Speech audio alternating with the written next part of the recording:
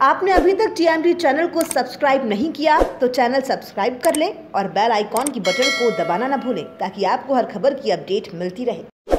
नमस्कार TMT news में आपका स्वागत है और मैं हूँ आपके साथ आमना खान। मध्य प्रदेश के मुरैना ज़िले में पुलिस को बंधक बनाए जाने का मामला सामने आया है। स्थानीय सूत्रों से मिली जानकारी के मुताबिक लंबे समय से फरार चल रहे बदमाश रवि सिकरवार को पकड़ने गई पुलिस को चुनौती थाना के पर्वतपूस गाँव में आरोपियों ने बंधक बना लिया।